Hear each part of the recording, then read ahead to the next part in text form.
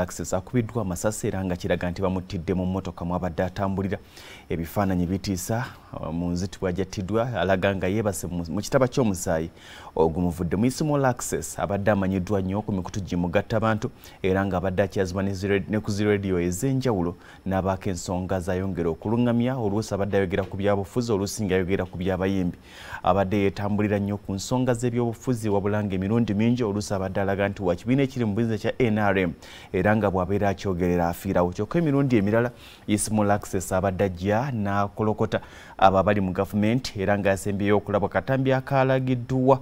Bwe babadde nga bakamala okutta yabadde minisita ngora nga aliko ebigambo byayogera. Ensonga oba oli aviiriddeko ismall access okuba nga tiwampawo ye agitegedde naye nga nzikiriza nti poliisi n'amagye bajja kuvayo okwongera okuluŋŋamya oba nga balina kye bamanyi ku nsonga zino oba nga balina kye bazoogerako. Ismall access bw'atyo abasinga gwe bamanyi nga jjajja ekyuli avudde mu bulamu bw'ensi eno embeera eyo bwetyo bweri mu ggwanga erya uganda. Ono kaakati mu bbanga ttono afuuse wakubiri okuba nga attibwa mu mbeera ng'eno eyokubwa amasasi newankubadde nga emirundi mingi tubadde tukiraba ng'abantu abagwa mu ttuluba nga lino eryaba ismail access baadde tebatera kuba nga oba oli abatuukibwako embeera ng'eno.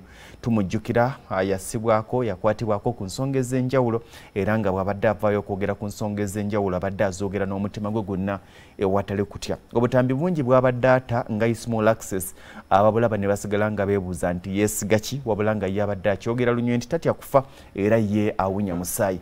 Ebigambo bye bibadde bireka bangi mu kutya abamwagala oba oliawo n'abo abadde batawagira ndowooza ze naye nga buli omu mu kaseera kano ali mu kukungubaga olwa ismall access abangi gwe bamanyi nga jjajja icyuli avudde mu bulamu obw'ensi eno mu ngeri etiisa eyeeraliikiriza eyennyamiza oba oliawo bakulu gye banaavayo okutunyonnyola. Kiki ekituuseewo mu ggwanga uganda? Ismall access? Wummula mirembe